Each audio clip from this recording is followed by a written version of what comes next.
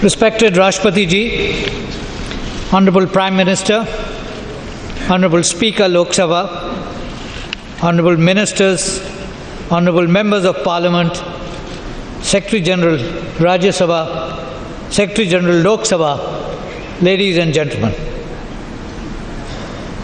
Rashtrapati Pranab Mukherjee, or Pranab Da as he is affectionately known, has had a long and distinguished career in public life.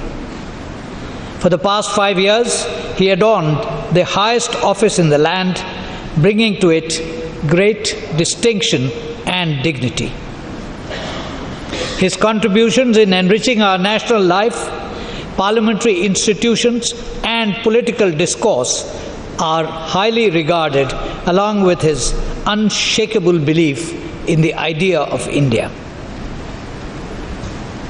In his parliamentary avatar, Shri Mukherjee strove to raise the level of debates and discussions in Parliament by erudite articulation on issues of public importance.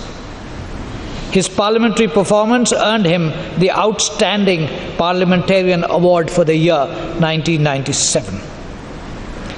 He once famously remarked, and I quote, Democracy should comprise of three D's debate, dissent, and decision, not the fourth D, disruption.